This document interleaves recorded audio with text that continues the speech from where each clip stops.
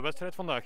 Uh, ik denk dat het enorm zwaar gaat worden, zeker met het deelnemersveld. Uh, het zijn toch jongens die allemaal uh, 2K gaan rijden, of toch de grotendeels. Dus het gaat een harde wedstrijd worden. Wat heeft vader jou meegegeven voor vandaag?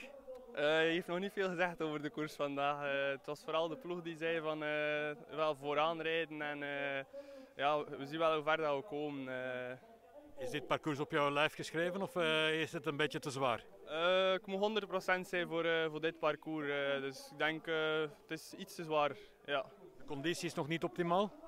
je is in de lijn, hoop ik. Oké, okay, veel succes dan. Ja, merci.